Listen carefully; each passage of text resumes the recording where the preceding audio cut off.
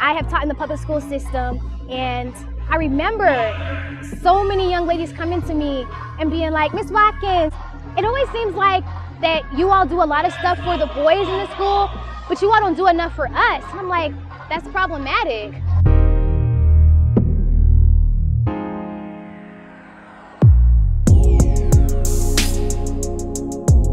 Our girls need a space for them.